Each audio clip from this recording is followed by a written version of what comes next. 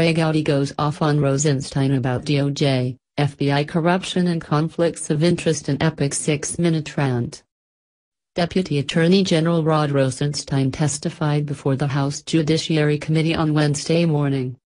Chairman of the House Judiciary Committee Bob Goodlatte called for the hearing after recent media reports revealed the political motives of Special Counsel Mueller's staff.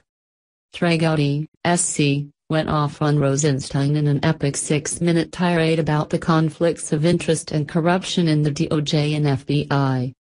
Trey pointed at the very reason for a special counsel is to avoid conflicts of interest and continues to outline all of the corruption and conflicts of interest with the associates in the Mueller investigation. Gowdy brought up the demoted DOJ official Ohr and his wife who worked for Fusion GPS. Rep. Gowdy then went off on Trump-hating FBI agent Strzok and read some of the text messages he sent his FBI lawyer mistress Lisa Page. This conflict of interest-free senior agent of the FBI can't think of a single solitary American who would vote for Donald Trump.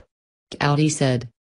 These are the people who we were told we needed for a conflict of interest-free investigation?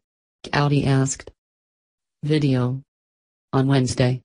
Deputy AG Rod Rosenstein said there was no good cause to fire Mueller from the highly partisan witch hunt against Donald Trump. Trump